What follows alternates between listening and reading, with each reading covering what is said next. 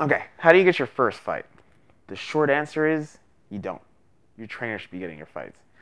Even when you get on a professional level, you you don't want to be negotiating on your own behalf as far as fights goes. You're always going to come from a much stronger point of negotiation when someone else is doing it on your behalf.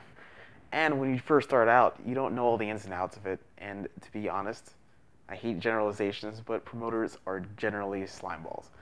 So it's, it's really something that you don't want to have to, to, to, it's really a headache that you don't want to, put yourself through at the same time that you're worrying about training and preparing for the fight.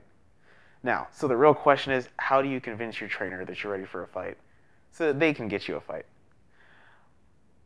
The short answer is you train like you're already training for a fight.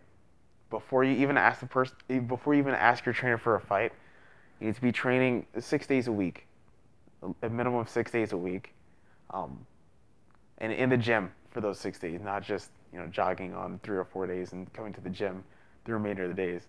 In the gym six days a week, and then doing your extracurriculars, your running, your uh, your your your extra pad work, your extra sparring, all that on top of your regular training. And when you've been doing that consistently, then you go to your trainer and you say, I'm interested in, in taking a fight. What do I have to do to get ready? And when you do that, if you, when your trainer sees you preparing the way you're supposed to be uh, preparing, and he knows that you, you've expressed interest in fighting, he's going to try to get you a fight.